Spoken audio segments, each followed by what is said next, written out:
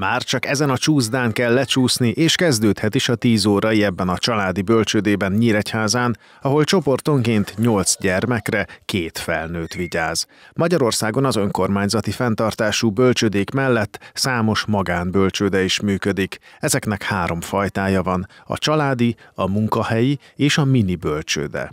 A Nyíregyházi Bátorka egy családi bölcsőde, amelynek vezetője szerint fontos, hogy segítsék a szülőket visszatérni a munkavilágába, ugyanakkor igyekeznek alkalmazkodni a szülők életritmusához is. Az állami bölcsödékben nagyon sok mindent előírnak, amit a szülőktől kérnek, például a munkáltatói igazolást kérik, csak akkor veszik fel a gyerekeket, hogyha van ilyen.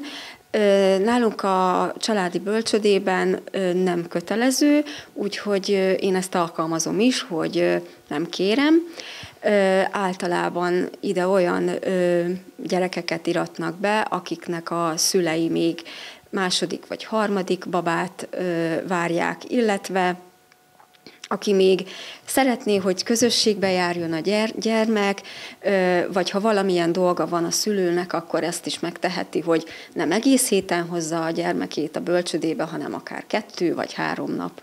Valcsák Viktória úgy véli, a bölcsödei támogatásnak köszönhetően a magánbölcsödei szolgáltatás szinte ugyanannyiba kerül a családok számára, mintha önkormányzatiba hordanák gyermeküket. Ez különösen nagy segítség lehet, ha a lakóhelyhez közeli önkormányzati bölcsödébe esetleg már eleve nem tudták fogadni a gyermeket. Nálunk, mivel ugye a Magyar Államkincstár egy 40 ezer forintos támogatást nyújt a, a szülőknek, így, amikor számolom a térítési díjat, ez majdnem ugyanannyiba jön ki, mint az állami bölcsödében az étkezés. Tehát szinte mondhatnám úgy, hogy olyan, mintha ha állami bölcsödébe járnának a gyerekek.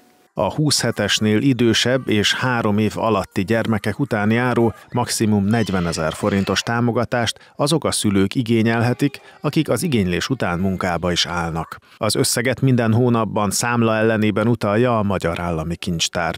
2019 óta közel 9000 szülő mintegy 1,2 milliárd forint támogatásban részesült. Az online néhány kattintással is elindítható igénylést 2023. március 31-ig lehet benyújtani.